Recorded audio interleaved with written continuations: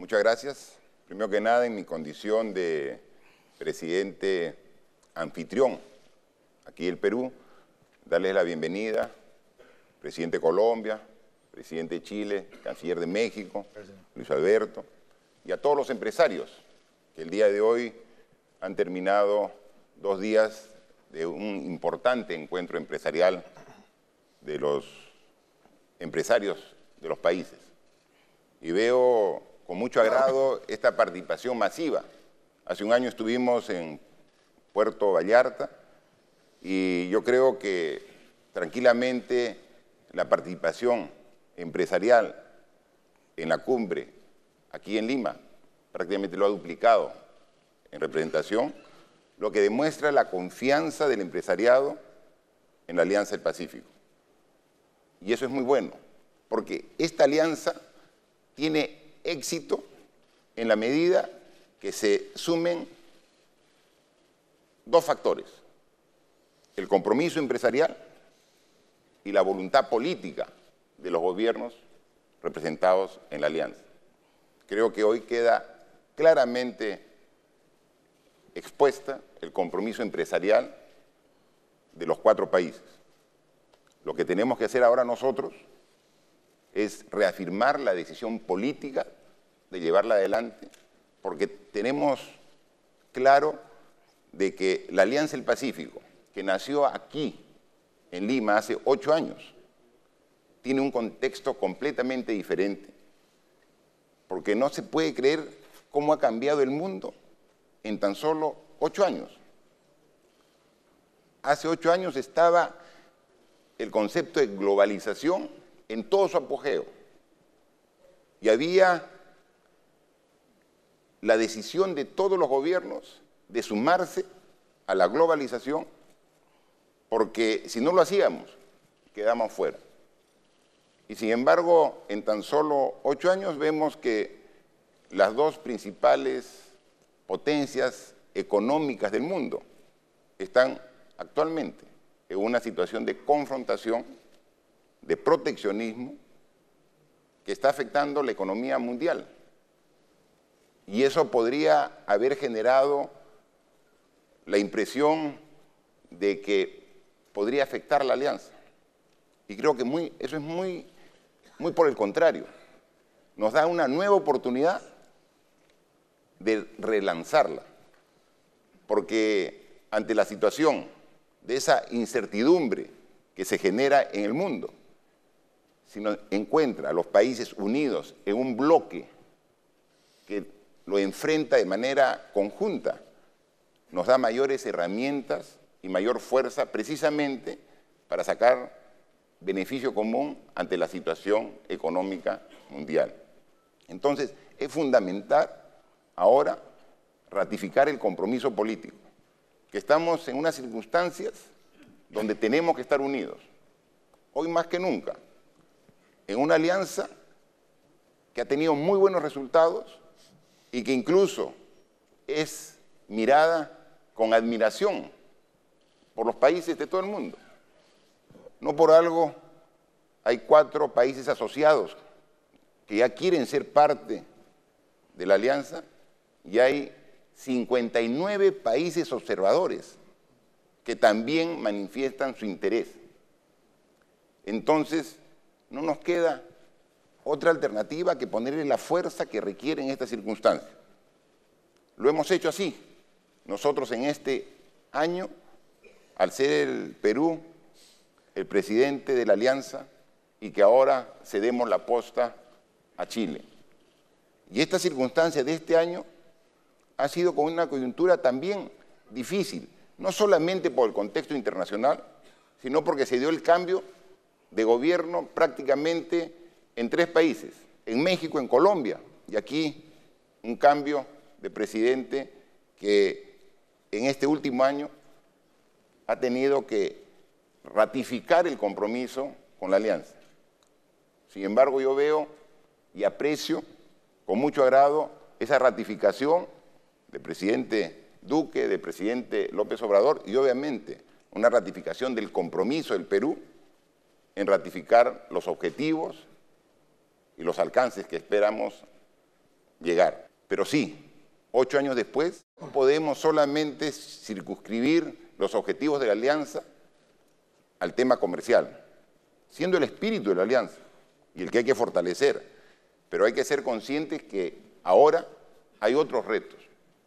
Y lo hemos conversado con la clase empresarial peruana. Hemos tenido reuniones donde hemos coincidido en nuestra visión que tenemos del país al futuro y que ahora al escuchar la intervención de los representantes de los países que integramos vemos que también hay coincidencia. Ya no podemos pensar en el futuro si no tomamos en cuenta el efecto del cambio climático.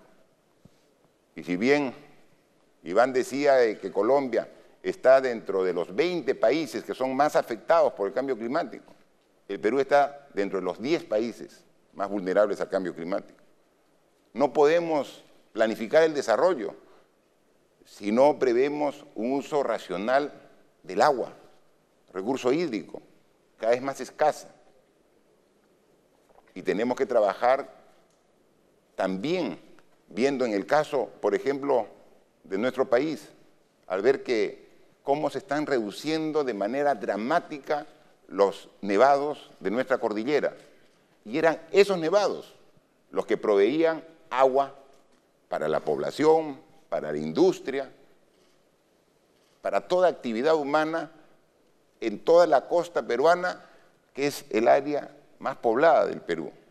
Y en consecuencia, si no nos preparamos, si no tenemos una visión como país, pero también en conjunto, no vamos a estar preparados para los retos que nos impone el futuro. Tenemos también que ser conscientes que así como es tan bueno crecer, y es uno de los principales objetivos, ver cuál es el crecimiento económico de nuestras economías, este crecimiento, si no tiene una adecuada redistribución para disminuir las brechas sociales que tenemos en nuestros países, no sería también un esfuerzo completo. Y en todo eso coincidimos entre los países y coincidimos con el empresariado.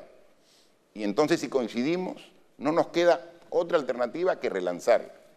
Y así como pensamos que tenemos que buscar que sea una sociedad más justa, más igualitaria, cerrando las brechas, también hay una brecha que le hemos eh, evidenciado en los últimos años, que es una brecha en cuanto a la participación de la mujer. Yo veo con agrado una gran cantidad de mujeres en este auditorio. El empresariado también se ha abierto y tiene una participación sustancial, y eso es muy bueno. También tiene que haber una incorporación en esa proporción en la clase política. Es fundamental. Y un tema que no podemos dejar de lado, porque fue tomado como un punto principal el año pasado cuando nos reunimos en la cumbre de las Américas, es cómo garantizamos la gobernabilidad de nuestros países luchando de manera conjunta contra la corrupción. Es fundamental. no vamos a poder tener decisiones conjuntas con visión de futuro si no somos conscientes del daño que ha hecho en las últimas décadas a nuestros países la corrupción y que tenemos que rechazar enérgicamente. Esos son los nuevos retos. Y conociéndolos, tenemos que estar preparados para enfrentarlos. En el Perú ratificamos nuestro compromiso con la Alianza del Pacífico, nuestro compromiso de trabajar de la mano con el empresariado, que es la única forma de que sea exitoso los objetivos que nos proponemos. Y por último, yo quería agradecer a la Alianza por habernos delegado la responsabilidad de jugar el domingo la final de la Copa América.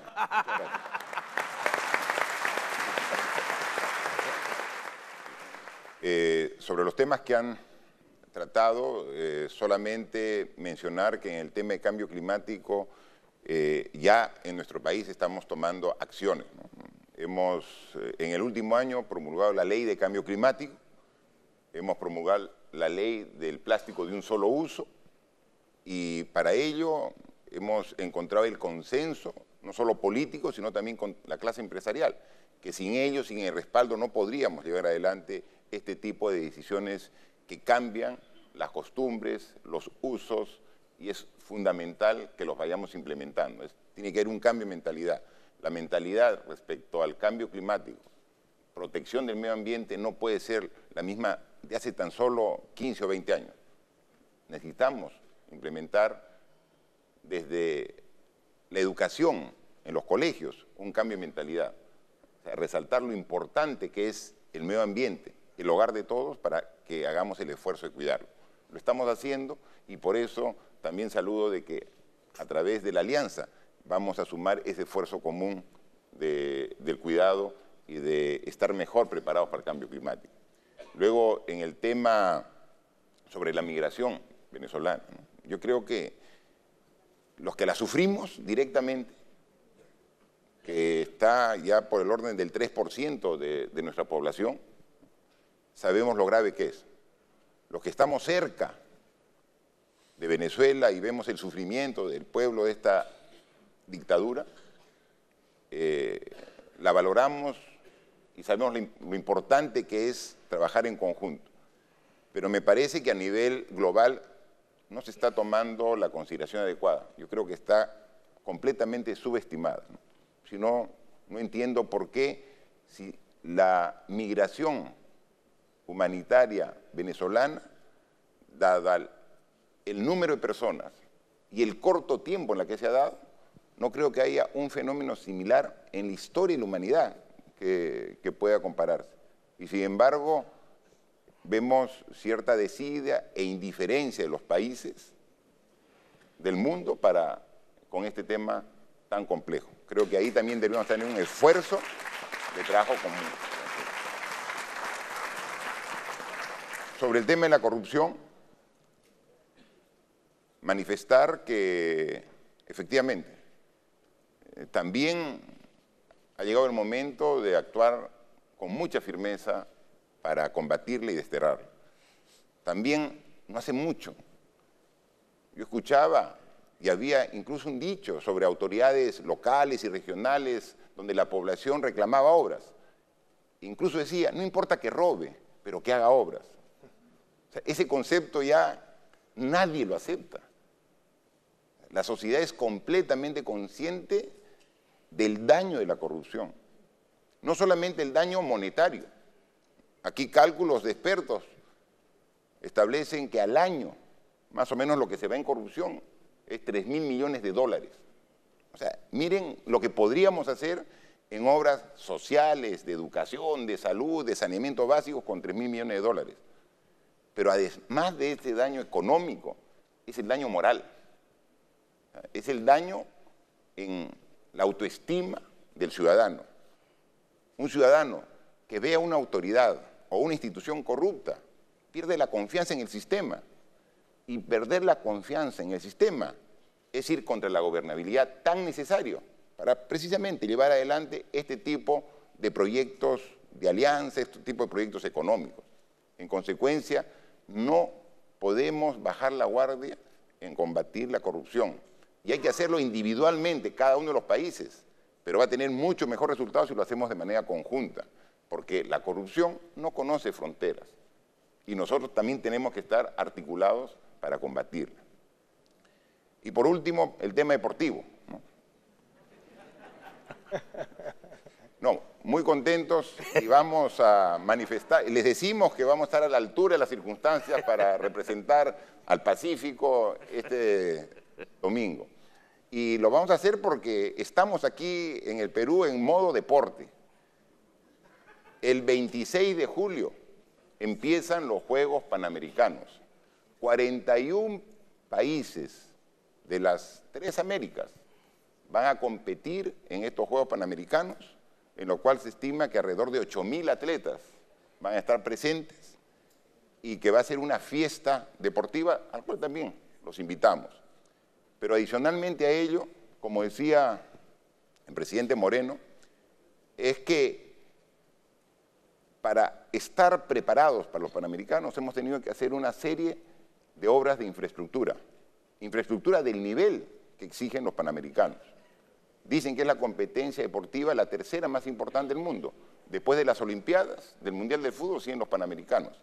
Y en consecuencia teníamos que, como Perú, presentar no solamente un país que siempre espera con los brazos abiertos a los deportistas y a los visitantes, sino con la infraestructura adecuada.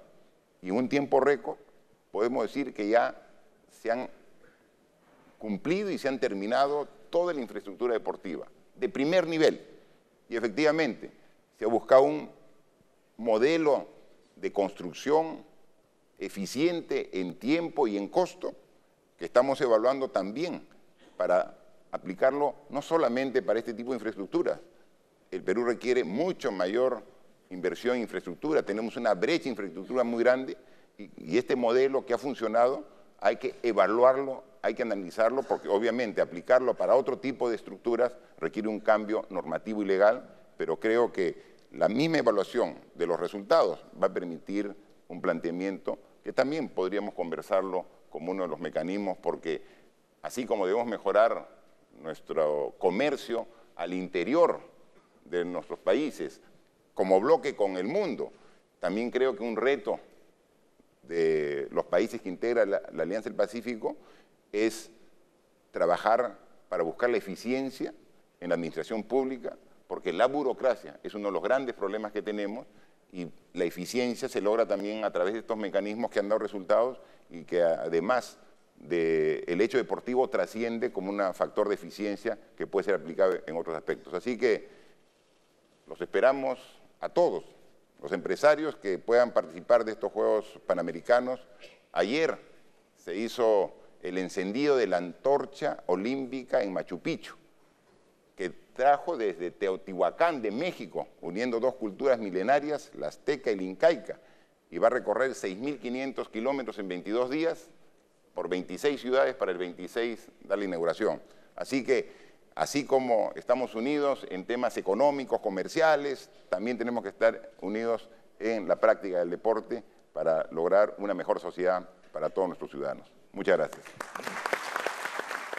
Gobierno del Perú. El Perú primero.